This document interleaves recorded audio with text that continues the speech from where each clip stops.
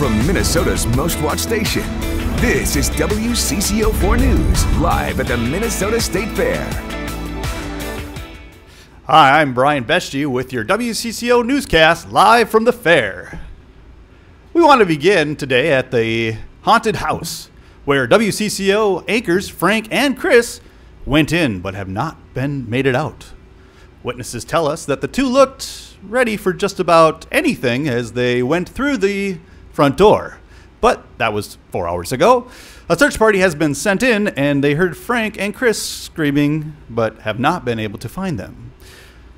A mummy on the second floor tells WCCO he saw the couple about an hour ago, but the pair jumped, screamed, and then ran out before he could grab them.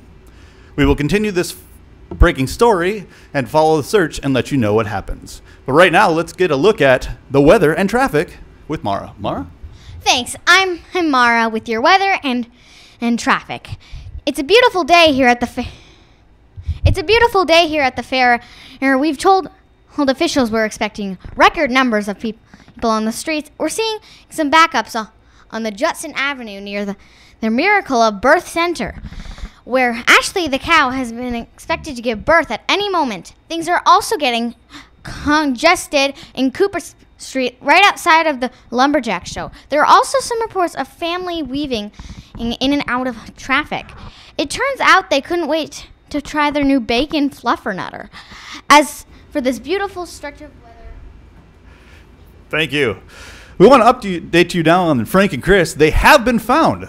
The pair was hiding behind a coffin on the third floor of the haunted house. They are thirsty, and a little shaken, but they're expected to be all right. I'm Brian. And I'm Mara Bestie. Thank you for watching WCCO for News at the Fair.